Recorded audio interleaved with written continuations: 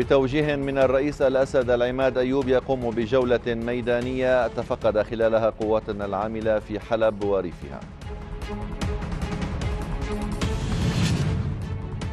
الجيش العربي السوري يسيطر على جبل هيال والتلال الاستراتيجية المشرفة على تدمر وسط حالة من الانهيار في صفوف إرهابي داعش. مصدر مقرب من وفد الجمهورية العربية السورية إلى جنيف يكشف عن ارتياح الوفد لسير المحادثات وعن تقديمه مجموعة من التعديلات والملاحظات على ورقة ديمستورا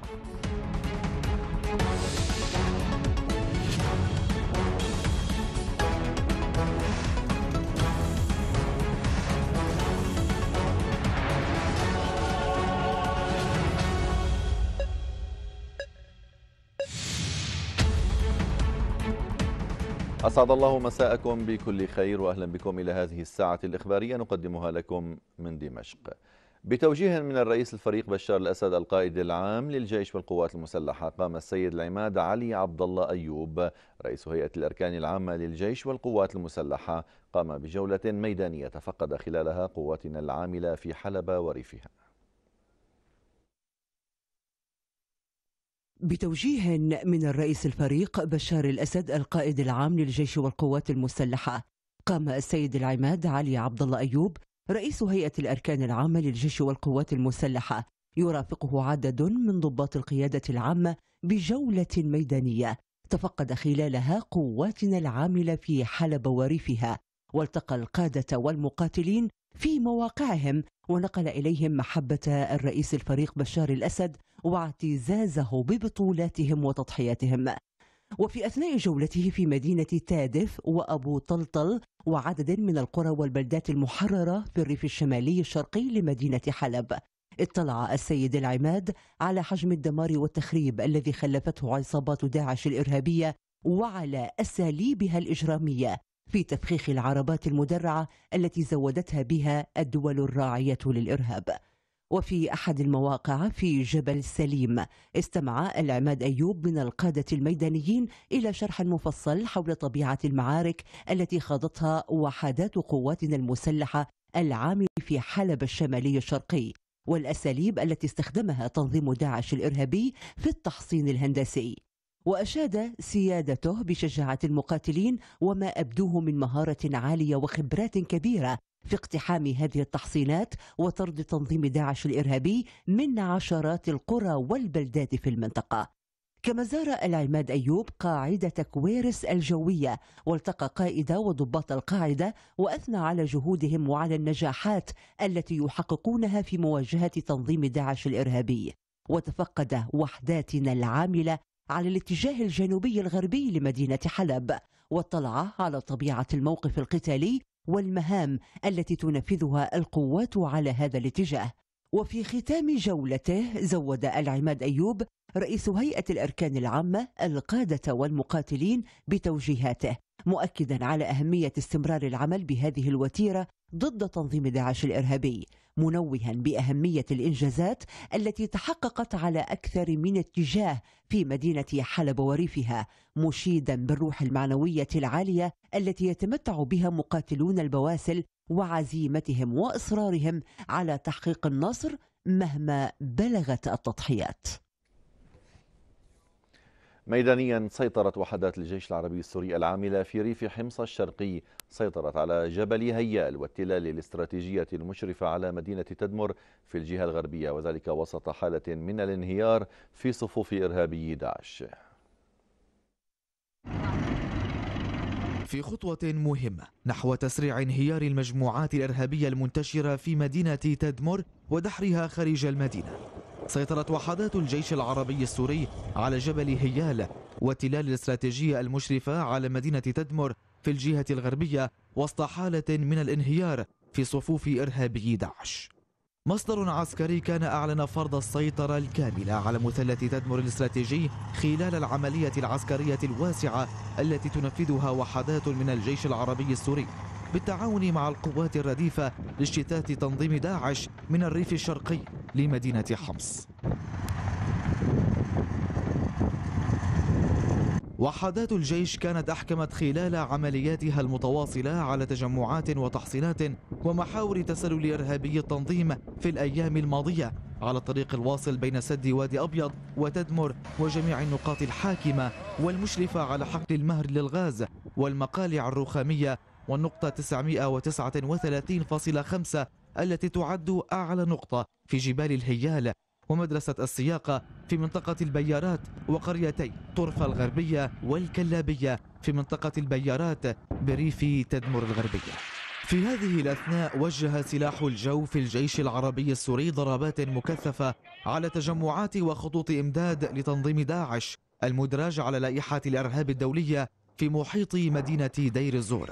حيث أسفرت الضربات الجوية عن تدمير تحصينات وتجمعات للتنظيم وإيقاع عدد من إرهابيه بين قتيل ومصاب وذلك في منطقتي معامل البلوك القريبة من لواء التأمين والمهندسين بمحيط جبل الثردة وفي ثلة 23 بمنطقة المقابر.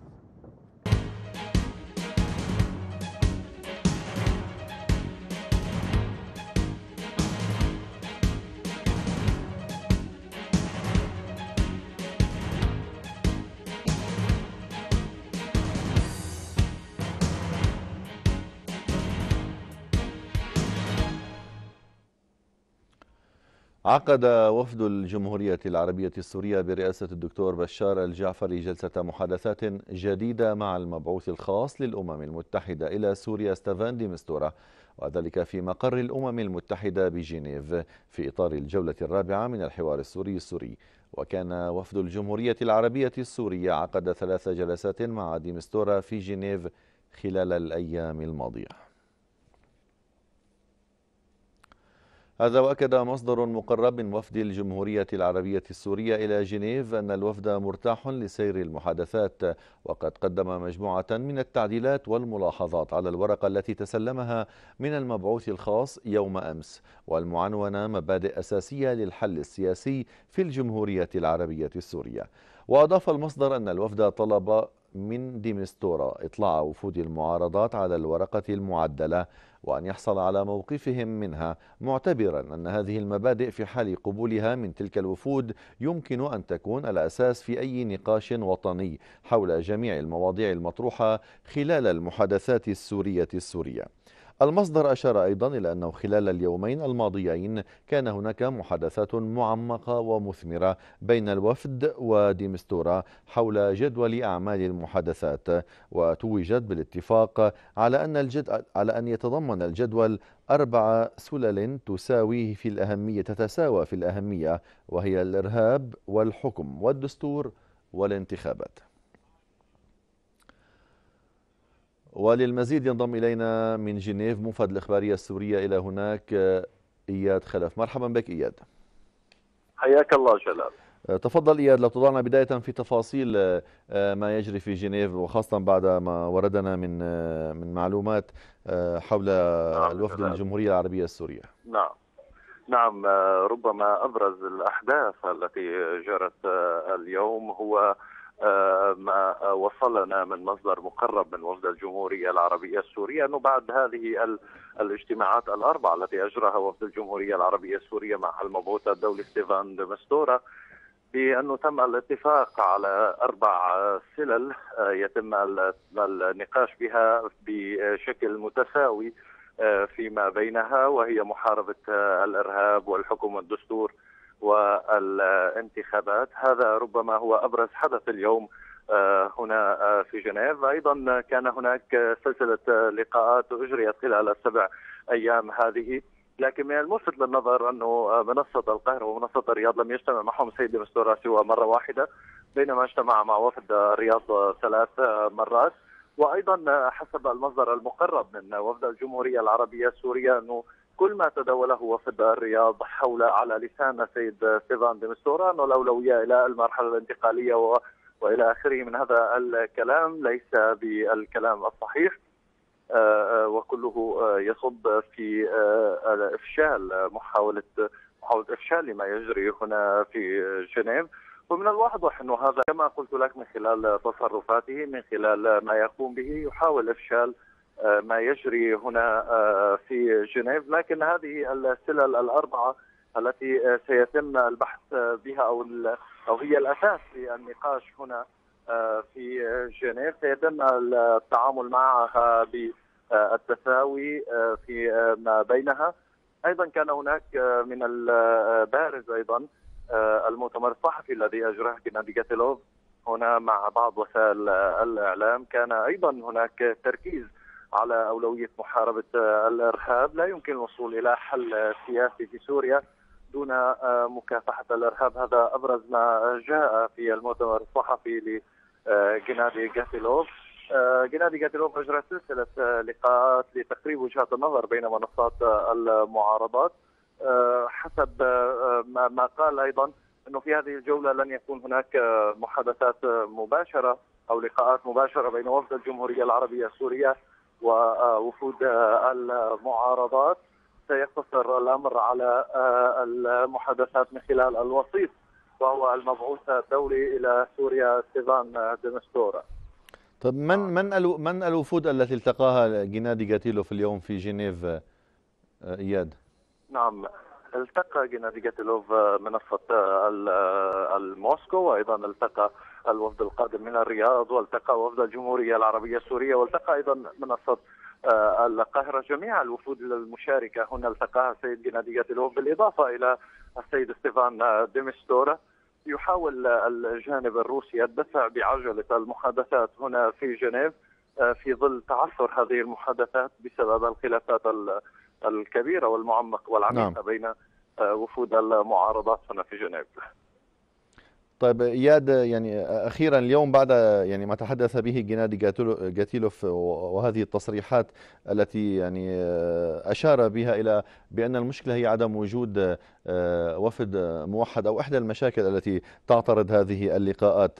آه، هل يمكن أن يؤثر اليوم الطرف الروسي على جميع الأطراف من أجل يعني تحريك وهو ما سماها بأنه تحريك من النقطة الميتة لتحريك هذه المفاوضات؟ هل ممكن أن ينجح آه، اليوم الطرف الروسي هل هناك ردود فعل يعني من قبل باقي الوفود على اللقاءات التي أجريت مع الجانب الروسي؟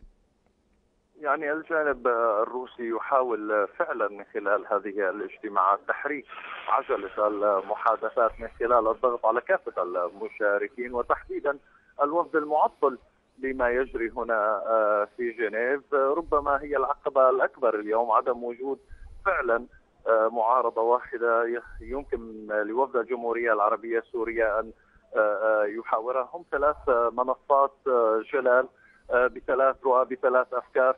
لا يمكن لوفد الجمهورية العربية السورية أن يحاور آه، هنا في جنيف ثلاث منصات في آن معا. يعني على الأقل أن يكونوا وفد واحد أن لم يكونوا وفد آه، صحيح. موحد لكن هذه السلل الأربعة التي تحدث عنها المصدر المقرب لوفد الجمهورية العربية السورية ربما تكون هي الأساس اليوم لتحريك عجلة المحادثات إذا ما تم آه، يعني إذا ما تم التعامل معها بشكل إيجابي من قبل الوفود المشاركة في جنيف.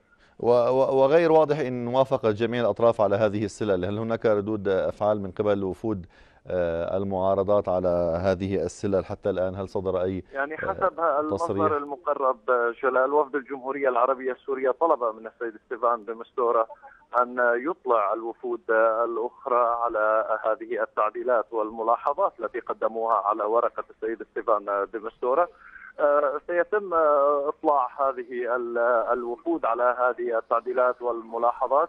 آه، لكن للآن لم يصدر أي موقف. آه، واضح من هذه نعم. الوفود اياد في حال في حال حصلنا على أي معلومة جلال سنوافيكم نعم. بها إن شاء الله نعم وحتى الآن كما ذكرت لنا في نشرات سابقة ليس من جديد في إن كان برنامج عمل الغد لقاءات مرتقبة أو متوقعة حتى الآن لم يتسرب أي شيء في هذه الإطار أخيرا لو سمحت ليس ليس لدينا أي فكرة عن جدول نعم. أعمال الغد نحن عادة نتسلم آه، عن طريق آه، البريد الالكتروني للأمم المتحدة. للآن لم يصلنا آه، أي جد أي برنامج لجدول أعمال الغد. في حال أيضا وصول آه، أي معلومة حول برنامج الاجتماعات غدا سأوافيكم به جلا. نعم إياد خلف آه، موفد الإخبارية السورية إلى جنيف. كنت معنا عبر الهاتف آه، من جنيف. شكرا جزيلا لك. في سياق متصل أكد وزير الخارجية الروسي سيرجي لافروف ضرورة عدم السماح للمتطرفين بالتسلل إلى العملية السياسية بشأن سوريا. الدور الروسي الداعم للحوار السوري السوري والحرص على مكافحة الإرهاب أمور تجسدت في تصريحات دبلوماسيين الروس مرارا واليوم جدد التأكيد عليها وزير الخارجية سيرجي لافروف بعد محاولات أطراف اللعب على مصطلحات القرارات الدولية من أجل الوصول إلى مبتغاها. خلال مؤتمر صحفي جمعه مع نظيره النيجيري إبراهيم يعقوب شدد لافروف على ضرورة عدم السماح للتنظيمات المصنفة إرهابية من قبل مجلس الأمن الدولي التسلل إلى المحادثات السياسية معربا عن أمله في ألا تتعرض صيغة جنيف للتعطيل وأن تواصل لعب دور مهم في تعزيز الحل في سوريا تماما كاجتماعات أستنا. الوزير الروسي أوضح أن جدول أعمال المحادثات في جنيف تحدده قرارات مجلس الأمن الدولي لا سيما القرار 2254 الذي يتضمن المطالبة بمكافحة الإرهاب دون هوادة وفصل ما يسمى المعارضة المعتدلة عن التنظيمات الإرهابية مشددا على أنه وفي حال شطب بند محاربة الإرهاب منها فلن تظل أجندة جنيف متناسبة مع متطلبات القرار الدولي. رغم تعنت منصات المعارضة على اختلافها في جنيف ببنود تتناسب مع طموحاتها ورغم محاولاتهم المستمرة تسييس القرارات الدولية لصالحها يبقى مطلب مكافحة الإرهاب أولوية لدى الشارع السوري. وهو ما يصر عليه وفد الجمهورية العربية السورية في العاصمة السويسرية وغيرها من المحافل الدولية. ومن جنيف أيضا أكد وزير الخارجية العراقي إبراهيم الجعفري ضرورة محارب أينما وجد وقال إن العراق يتعاون في هذا الإطار مع الجارة سوريا. ووجه الجعفري النصيحة لتركيا بأن الإرهاب سيطال الجميع. مكافحة الإرهاب في سوريا باتت على سلم أولويات مختلف دول العالم فكل اللقاءات والاجتماعات الوطنية والإقليمية والدولية تتصدى لهذا الخطر الداهم فيما لا تزال مجموعة الرياض تستخدم الإرهاب وسيلة لتحقيق مآربها ومصالح مشغليها في السعودية وتركيا ترفض إدراجه على جدول أعمال محادثات جنيف الرابعة. العراق ومصر اللتان تخوضان حربا موازية للحرب التي يخوضها الجيش العربي السوري ضد تنظيم داعش الإرهابي على أراضيهما. أكدتا أهمية ضرب الإرهاب التكفيري ودحره ووقف تمويله لأنه يشكل خطرا عالميا. وزير خارجية العراق إبراهيم الجعفري أكد أن العراق يضرب الإرهاب أينما وجد بالتعاون مع الجارة سوريا وأن ما يضر بسوريا يضر العراق. نصيحتي لكل دولة أن لا تراهن على أن الإرهاب لا يشكل خطرا عليها. بعدين لا معنى أن نتصور أن دولة من الدول تكون في مأمن والإرهاب ينتشر من هذه الأطراف ويتسع إلى أطراف أخرى. فنصيحتي مو فقط لتركيا لكل دول العالم أنها يجب أن تضع في سلم أولوياتها الخطر الإرهابي وأنه لا يمكن السكوت والركون إليه. الموقف ذاته أكده وزير خارجية مصر سامح شكري في كلمة له أمام الدورة الرابعة والثلاثين لمجلس حقوق الإنسان مشيرا إلى ضرورة وقف تدفق السلاح والأموال للجماعات الإرهابية في سوريا. وضرورة التوصل إلى حل سياسي للأزمة فيها. مواقف متقدمة للقاهرة وبغداد. تم الإعلان عنها عشية إحباط روسيا والصين لمشروع قرار غربي ضد سوريا. وكان لمصر كلمتها عندما امتنعت عن التصويت لصالح القرار. في إشارة جديدة على أن محور الإرهاب والعدوان بدأ يتحجم ويتضاءل أمام إرادة شعوب المنطقة بدحر الإرهاب ودعمه وفي جنيف أيضا التقى وفد دبلوماسي إيراني ممثلين عن منصة موسكو على هامش مؤتمر جنيف للحوار السوري السوري وأفاد مفد الإخبارية السورية بأن اللقاء تضمن تبادل وجهات النظر والاتفاق على ضرورة مواصلة المحادثات.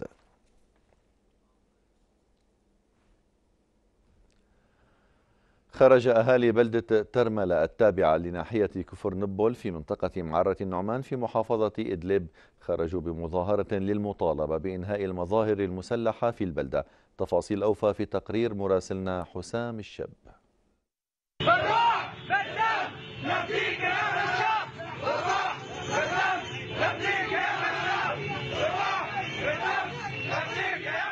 بهذه الكلمات صرخ أهالي بلدة ترملة في وجه العصابات الإرهابية التي طغت وضاق صدر الأهالي بريف إدلب من ظلمها. تلك المجموعات الإرهابية التي لا تألو جهدا في استبدادها وظلمها للمدنيين الأبرياء. ريف إدلب المشتعل دائما بسبب الخلافات الدائرة بين المجموعات الإرهابية زاد من احتقان الأهالي ضد تلك المجموعات. وخرجوا بمظاهرات تطالبها بالخروج من مناطقهم.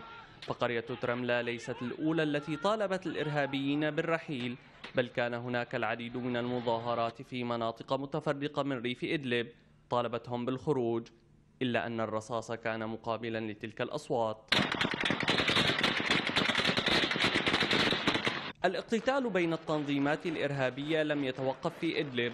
فبعد الأحداث التي شهدها الريف الإدلبي والتي أدت لخروج ما يسمى لواء الأقصى من ريف إدلب باتجاه الرقة قامت ما تسمى هيئة تحرير الشام بالاستيلاء على مقرات ومستودعات للذخيرة لما يسمى فيلق الشام الإرهابي في بلدة قاح. وحاصرت مجموعة رفضت تسليم نفسها. كما وهاجمت مقرات ومستودعات لما يسمى الفرقة 23 التابعة لما يسمى الجيش الحر. في حربنوش وإطما ومحيطها شمال إدلب. في كل يوم يمضي تظهر الحرب على سوريا حقيقة جديدة تكشف زيف ادعاءات غزاتها وليست التظاهرات المنددة بتواجد التنظيمات الإرهابية في بلدة ترملا بآخرها.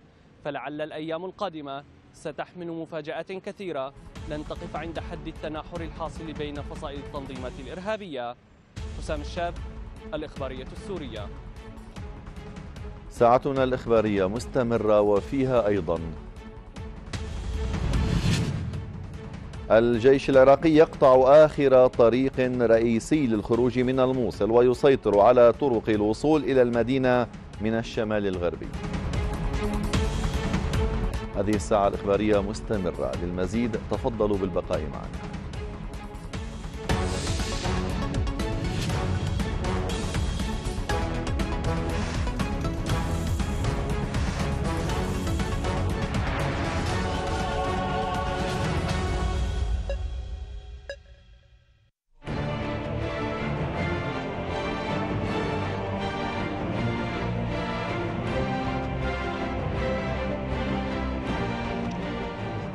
هذه صورة هذه صورة الآن مباشرة لبشار الزعبي الذي كان يقف إلى جانب نصر الحريري على يسار نصر الحريري. هذه صورة وهو يضع شعار آه، جبهة النصرة المدرجة على لائحة الإرهاب الدولي وهو يقف الآن في جنيف في مبنى الأمم المتحدة يتحدث عن الحل السياسي ويتحدث عن الإرهاب ويتحدث عن من يدعم داعش.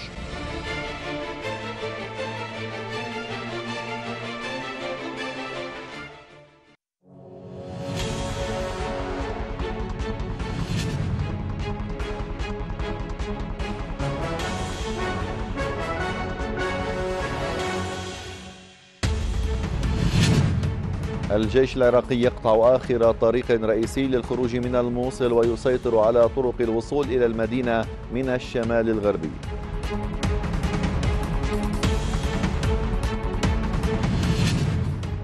طهران تؤكد على سياسة ضبط النفس إزاء محاولة السعودية تأجيج التوتر في المنطقة.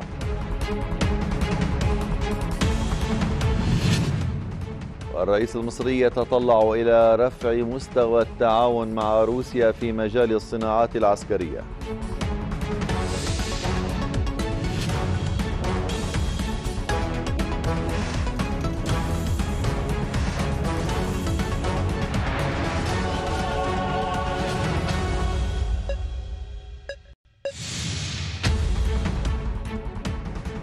من جديد أهلا بكم إلى هذه الساعة الإخبارية. في العراق تتقدم القوات العراقية في عملياتها العسكرية في مدينة الموصل وتقطع آخر طريق رئيسي للخروج من الموصل. كما تسيطر أيضا على طريق الوصول إلى المدينة من الشمال الغربي. على مختلف الجبهات القتالية تستمر القوات العراقية بوتيرة عالية لإتمام السيطرة الكاملة على الساحل الأيمن لمدينة الموصل.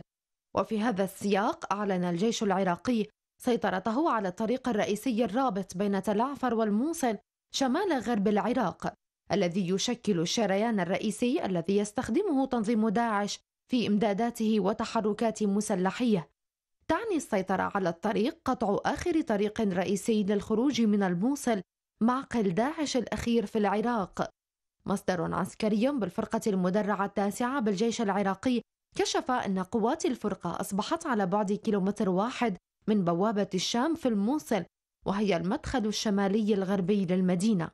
المصدر أكد السيطرة على الطريق الرابط بين الموصل وتل عفر وهي آخر معقل لتنظيم داعش وهي تتمتع بأهمية استراتيجية كونها تشكل حلقة الوصل بين المدينة العراقية ومعاقل داعش في سوريا. وفي سياق متصل قال مصدر عسكري عراقي إن نحو 800 نازح جديد من الأحياء الغربية للموصل نقلوا إلى مخيم الجدعة جنوب المدينة بعد فرارهم من مناطق القتال.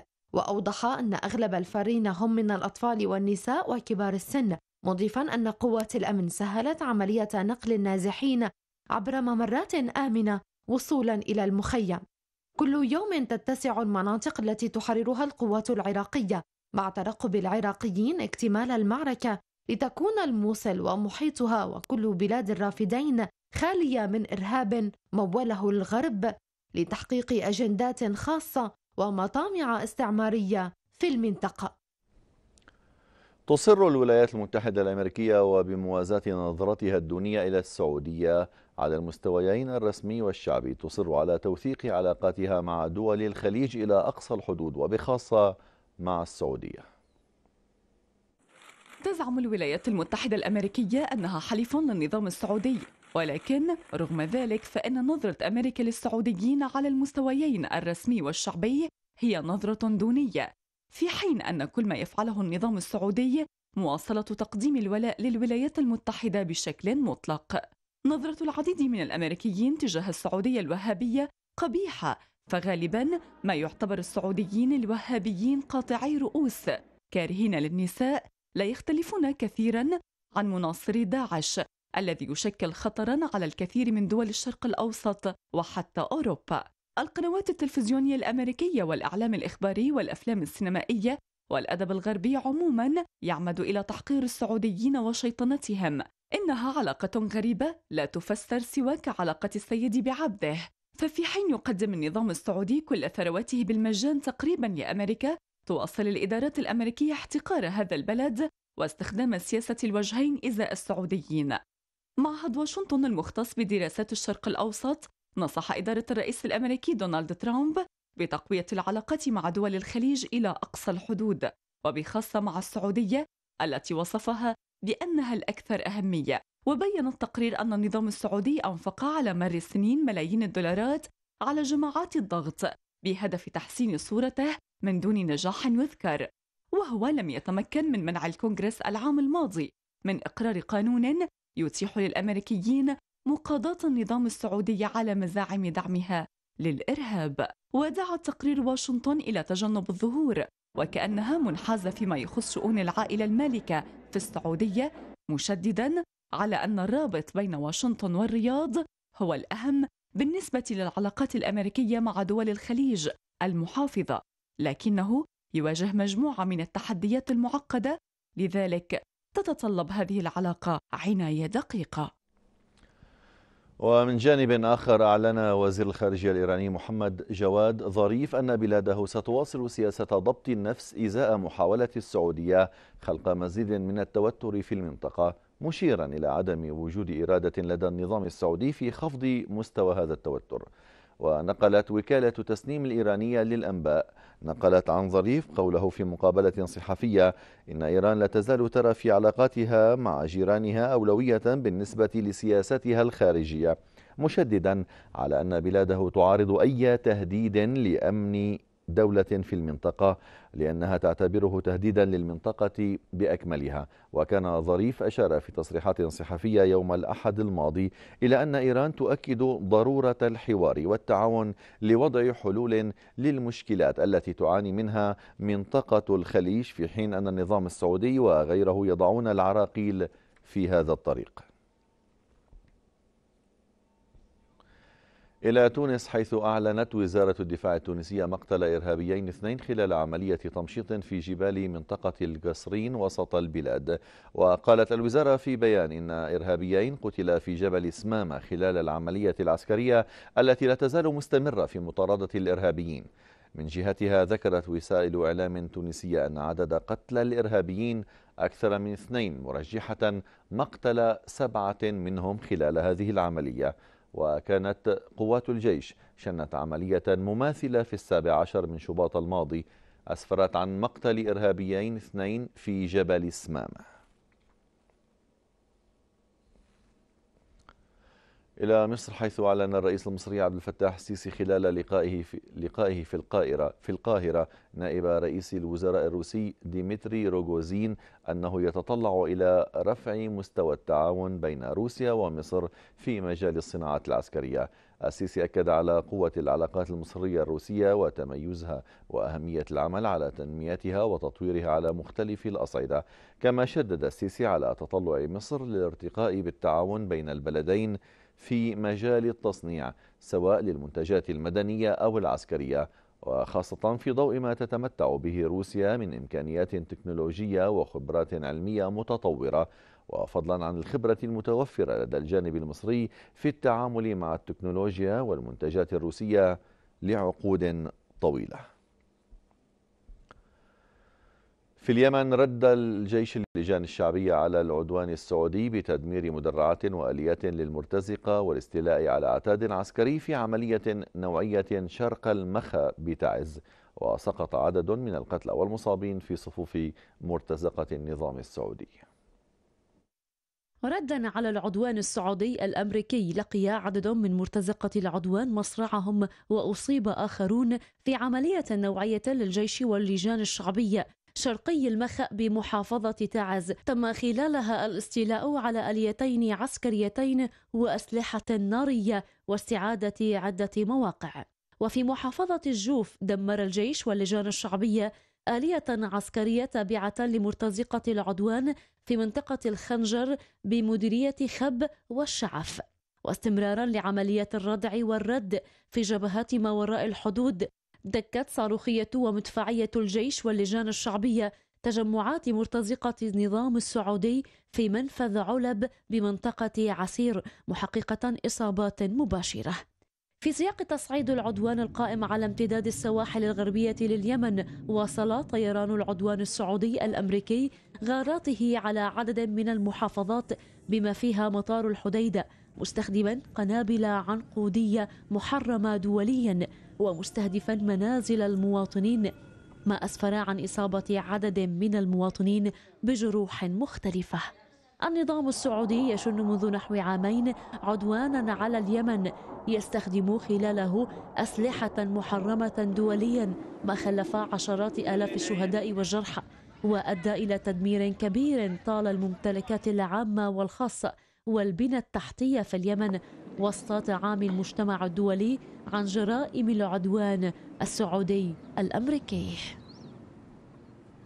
أجرت إيران اختبارا لمنظومة باور 373 الصاروخية وهي النسخة الإيرانية لمنظومة صواريخ إس 300 مع استمرارها بإجراء اختبارات على منظومة الدفاع الجوي إيران تعلن على لسان مساعد وزير الدفاع العميد أمير حاتمي إجراء اختبار لمنظومة باور 373 الصاروخية وهي النسخة الإيرانية لمنظومة الصواريخ اس 300 العميد حاتمي صرح أن هذه الاختبارات ستستمر لغاية تسليم المنظومة إلى الوحدات المرتبطة وأن جميع النشاطات الدفاعية ومنها العمل على هذه المنظومة الدفاعية تجري وفق البرنامج المعد وسيتم الإعلان عنها عند الضرورة. روسيا وإيران في وقت سابق وقعتا اتفاقا تسلم روسيا بموجبه إيران أنظمة صواريخ أرض جو إس 300 ويأتي ذلك بعد رفع العقوبات الدولية عن إيران قبل أشهر بعد الاتفاق الذي أبرمته مع القوى الغربية بشأن ملفها النووي. وكانت إيران قد أزاحت الستار عن منظومة باور 373 في شهر آب من العام الماضي في اليوم الوطني للصناعات الدفاعية. تعهد الرئيس الأمريكي دونالد ترامب باستئصال خطر داعش نهائيا بالتعاون مع حلفاء بلاده وخاصة الحلفاء في العالم الإسلامي.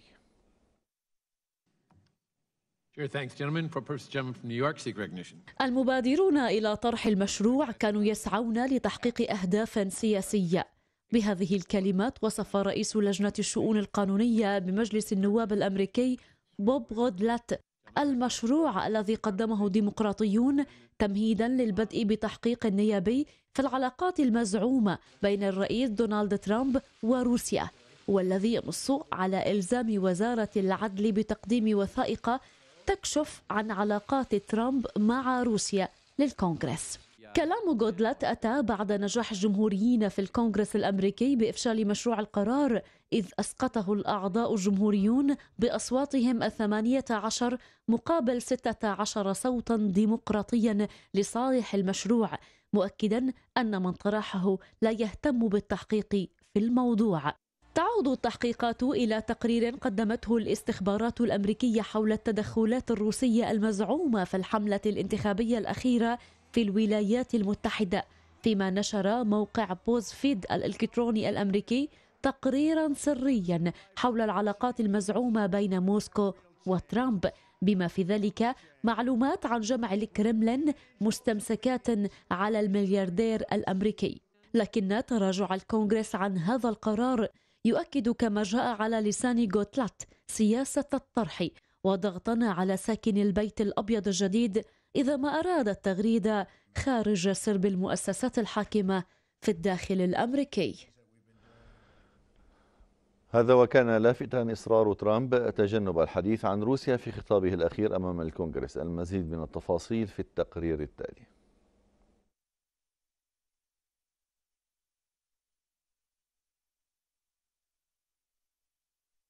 إصرار ترامب تجنب الحديث عن روسيا أصبح ميزة رئيسية في خطاب الرئيس الأمريكي عكس سلفه باراك أوباما الذي وصل لدرجة وضع موسكو إلى جانب تنظيم داعش وعلى رأس قائمة المخاطر الدولية. تجنب ترامب هذا وصمته تجاه العلاقات مع روسيا كان واضحا في خطابه الأول أمام الكونغرس الأمريكي رغم أن موسكو كانت حاضرة بقوة في ملفاته. صمت ترامب كان محفوفا بالمعاني خاصة عندما تحدث عن محاربة الإرهاب وعن ضرورة البحث عن أصدقاء وشركاء جدد في العالم. وفي إشارة أخرى إلى وجود أسس لهذا التفاؤل جاءت تصريحات الخبير الأمريكي بول فاليلي الذي يقدم استشارات لإدارة دونالد ترامب في مجال السياسة الخارجية إذ توقع توصل موسكو وواشنطن إلى توافق حول تسوية الأزمة في سوريا في غضون ثلاثة أشهر. أعمل حاليا على إعداد مفاجأة لكم جميعا. لكن لا يمكنني أن أكشفها الآن وعليكم الانتظار تسعين يوما لتعرفوا ماذا سيحصل بين الولايات المتحدة وروسيا. من جهة ثانية أوضح ديمتري بسكوف الناطق باسم الرئيس الأمريكي أن تركيز الرئيسين ترامب وبوتين على تحقيق المصالح القومية لبلديهما من شأنه أن يوفر قاعدة متينة للتفاهم وكذلك لتعزيز العلاقات باعتبار أن سياسات أوباما وانشغاله بقضايا دولية كثيرة بعيدة عن الحدود الأمريكية كان أمرا ضارا بالمصالح القومية الأمريكية قبل كل شيء.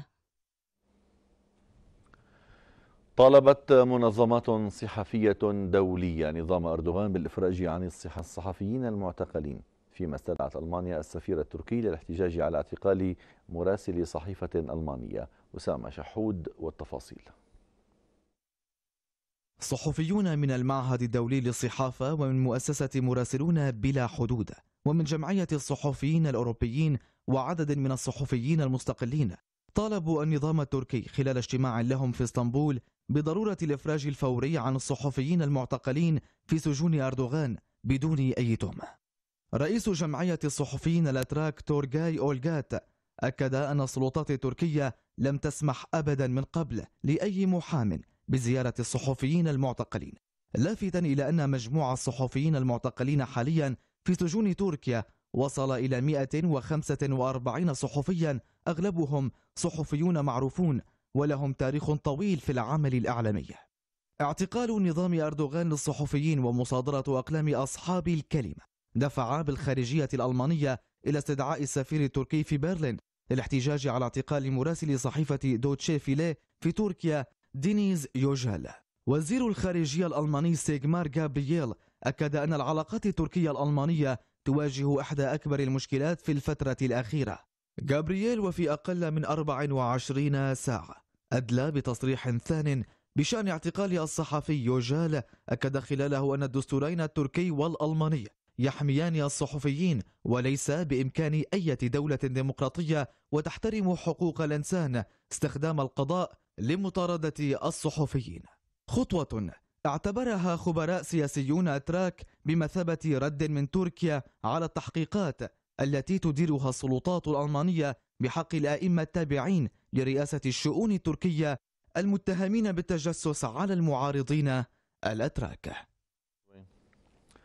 بدأت شركة توبوليفا الروسية لصناعة الطائرات العمل على صنع النموذج الأول من قاذفة قنابل وصواريخ استراتيجية متطورة.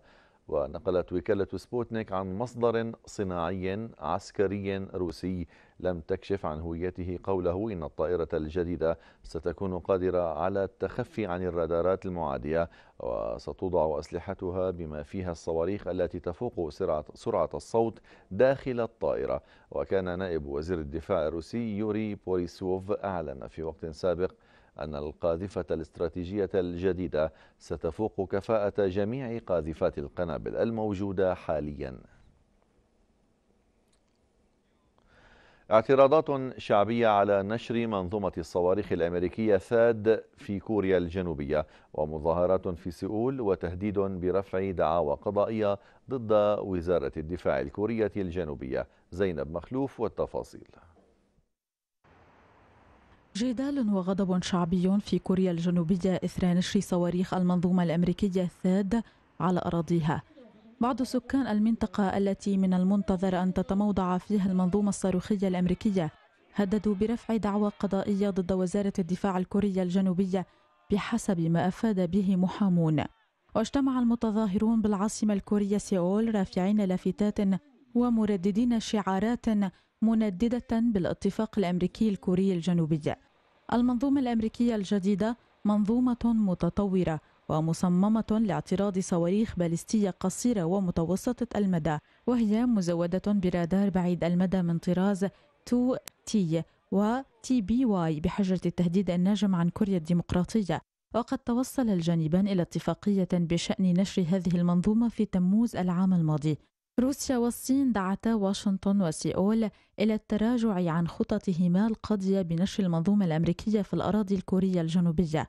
موسكو وبكين أعربتا في بيان مشترك عن قلقهما العميق والمعارضة الشديدة من مواصلة واشنطن وسيول عملية نشر المنظومة المذكورة وطالبتا باحترام موقفهما في هذا الشأن إضافة إلى تجنب القيام بأعمال قد تؤدي إلى تصعيد الوضع المعقد في شبه الجزيرة الكورية. ما يبدو على الأرض أن المسألة قطعت شوطا لا رجعة فيه فقد حددت سلطات كوريا الجنوبية بقعة أراض لنشر عناصر المنظومة متجاهلة حتى غضب مواطنيها الذين نظموا مظاهرة في سيول للاحتجاج على الانتهاكات الأمريكية لحرمة بلادهم. وصب الزيت على نار الأزمة المستعصية في شبه جزيرة الكورية. بهذا الخبر نصل إلى ختام هذه النشرة الرئيسية تذكير بأبرز العناوين. بتوجيه من الرئيس الأسد العماد أيوب يقوم بجولة ميدانية تفقد خلالها قواتنا العاملة في حلب وريفها. الجيش العربي السوري يسيطر على جبل هيال والتلال الاستراتيجية المشرفة على تدمر وسط حالة من الانهيار في صفوف داعش. مصدر مقرب من وفد الجمهورية العربية السورية إلى جنيف يكشف عن ارتياح الوفد لسير المحادثات وعن تقديمه مجموعة من التعديلات والملاحظات على ورقة ديمستورا وفي العراق الجيش العراقي يقطع آخر طريق رئيسي للخروج من الموصل ويسيطر على طرق الوصول إلى المدينة من الشمال الغربي. وتابعنا أيضا في هذه الساعة الإخبارية منظمات صحفية دولية تطالب أردوغان بالإفراج عن الصحفيين المعتقلين وألمانيا تستدعي السفير التركي للاحتجاج على اعتقال مراسل صحيفة ألمانية. بهذا نصل إلى ختام هذه الساعة الإخبارية. قدمناها لكم من قناة الإخبارية السورية في دمشق. دمتم بأمان الله.